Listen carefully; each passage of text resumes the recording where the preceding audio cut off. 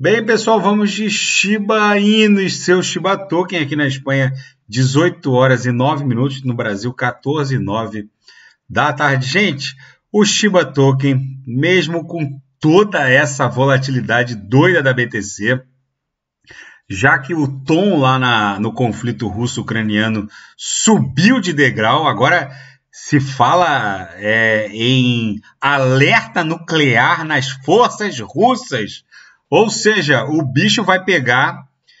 A BTC, em razão disso, está muito volátil, está em 39.113. Está ali tentando é, transpassar de baixo para cima a VWAP mensal. Na esteira dessa, desse imbróglio geopolítico, o Shiba Token fica ali namorando, testando a base da nuvem de Shimoku no diário, sem perder a base da, da nuvem no diário. Vocês vejam que na invasão é, russa sobre o território ucraniano, o Shiba Token fez a mínima em 2071. Depois ele fez o corpo real do Kendall no diário, no próprio dia 24, retornar para dentro da nuvem.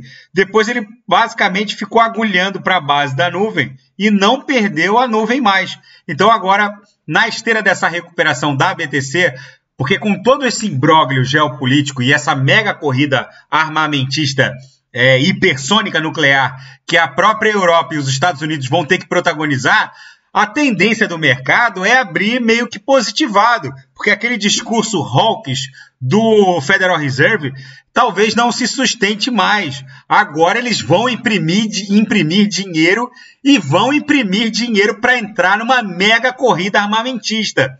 Então a gente tem que ver é, como o Jeremy Powell vai se vai se posicionar, já que em crises geopolíticas dessa magnitude, normalmente o dinheiro costuma ficar mais barato. Vamos ver como vai se desdobrar. O fato é que a BTC é a grande maestra dessa orquestra.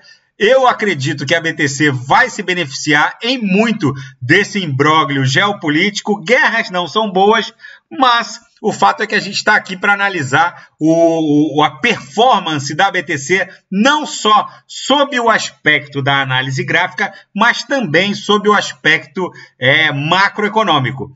Então, como o Shiba Token é muito sensível a qualquer movimentação da BTC e esse metaverso, que é o Shibef, tá, é, vai ser um dos expoentes dessa indústria, então não, não tenho dúvida, dúvidas que o Shiba Token ele é muito sensível e a gente precisa analisar dentro desse macro contexto. Gente, tem muita gente me perguntando aqui no canal como comprar a Shiba Lens. É, quando as Chibalenses tiverem a, a, a agenda de, de, o calendário de venda anunciado, por enquanto eles só estão dando conta de que o, o, lote inicial vai ser de 35 mil Chibalentes. Os, os, os, terrenos virtuais, né, os Chibalentes mais próximos do Dog Park, serão os mais valorizados. Também serão mais valorizados os Chibalentes com recursos naturais. O Divitime não antecipou quais tipos de benfeitorias poderão ser ultimadas nesses Shibalands com recursos naturais, mas provavelmente serão benfeitorias específicas e com potencial de retorno maior em termos de monetização dessa NFT, desse ativo cripto. Mas é, é, a gente tem que estar preparado, então, para poder ter acesso a esse lote inicial de 35 mil equivalentes, é necessário ter pelo menos uma, um, um token list. Então, é, a gente tem que, eu recomendaria é, ter pelo menos um token list para quem eventualmente queira entrar nesse universo do metaverso do ecossistema Shiba Inu. Tá bom, pessoal? Fica esse registro do Shiba Token aqui, fazendo uma análise mais macro.